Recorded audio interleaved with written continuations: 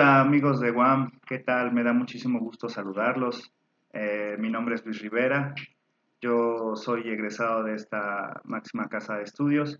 Primero estudié sociología en la unidad Xochimilco y bueno, posteriormente eh, egresé de la especialización en literatura mexicana del siglo XX en la unidad Escapotzalco.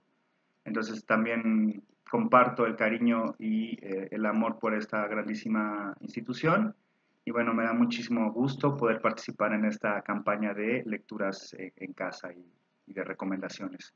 Y bueno, para no irme más extenso, bueno, yo quisiera hacerles una recomendación de un libro que a mí en lo particular me, me, ha gustado mucho. Es uno de mis libros, digamos, favoritos eh, o, digamos, este, libros que eh, yo, yo, considero de alguna forma fundamentales en la literatura contemporánea. Y bueno, eh, es un libro que les digo que a mí me, en lo particular me gusta muchísimo y bueno, se los voy a mostrar aquí.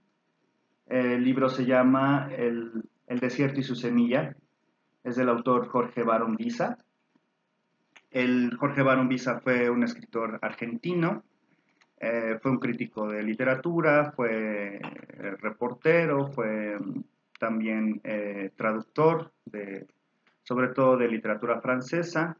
Y bueno, eh, un poco para abrir el contexto de la novela, bueno, eh, Jorge Barón Visa es hijo o fue hijo también de dos personalidades eh, de alguna forma muy importantes en, en, la política y en la vida argentina de los años 60.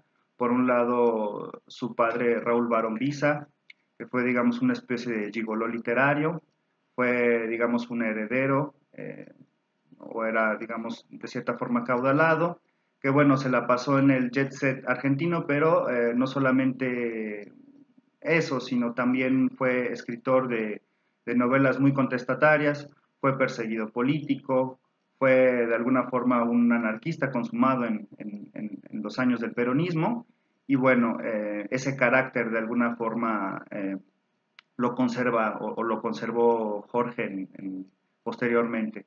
Y bueno, su madre, que fue Clotilde Sabatini, ella también fue una figura muy importante de la política argentina de los años 60.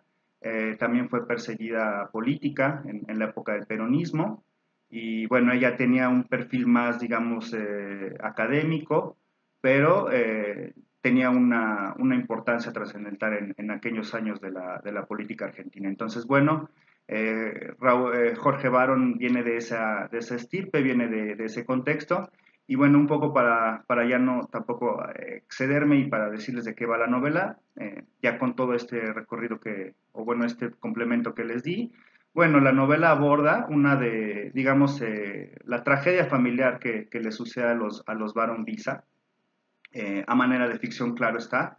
Y bueno, esta tragedia tiene que ver con, digamos, el desvanecimiento del matrimonio entre estos dos personajes, entre, entre Raúl y, y Clotilde, y bueno, el día que ellos deciden finiquitar el, divorcio, eh, digamos en, la casa de, Raúl, bueno, este al final de todos los trámites, pues decide atacar a, su exmujer, eh, arrojándole un vaso, de, un vaso de ácido en la cara. Y bueno, eh, esto hace que pues se configure todo el, relato de, lo que viene a ser el desierto y su semilla, toda la narrativa. Eh, por supuesto que los nombres de, los personajes no están escritos a manera de la vida real, en la novela están configurados en la, ficción.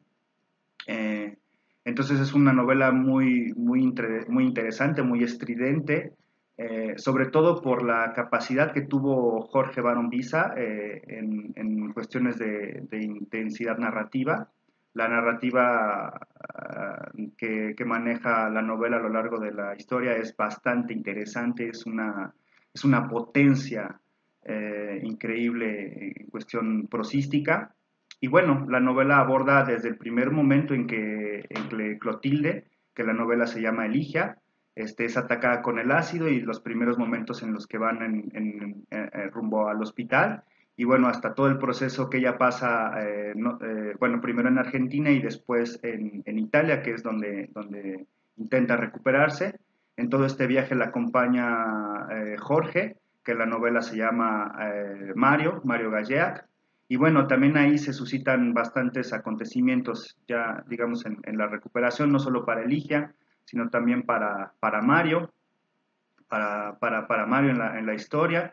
Y bueno, la vida de los dos eh, cambia a partir de, ese suceso. Eh, en la vida de Eligia, claro, eh, por el rostro que se va desvaneciendo y que va siendo otra realidad, pero también en, el hijo que va acompañando esa tragedia y que también su vida y su entender de, la, de, las cosas que, acontecieron después, pues va cambiando. Y bueno, también el padre, por, por no dejarlo, pues también muere de forma trágica, también tiene un desenlace trágico y bueno, de, esto va un poco la novela del desierto y su semilla. Es una novela que, como yo les decía, pues es eh, muy intensa, eh, cuando salió en, su tiempo en Argentina fue también muy reconocida, hasta cierto punto de culto. Y bueno, hoy en día podemos todavía disfrutar de ella. Eh, la editorial Eterna Cadencia la reeditó en 2013. Y bueno, en México se puede conseguir, este, creo que está todavía en, algunas librerías, pero si no también está muy, eh, muy abierta para que se pueda conseguir por internet y, y claro, por envío. Entonces, bueno, yo los dejo un poco con esta recomendación, espero que, les pueda gustar eh, el, desierto de semilla y bueno, nos vemos, eh, nos vemos próximamente para eh, seguir hablando de libros y de literatura. Muchísimas gracias. Hasta luego.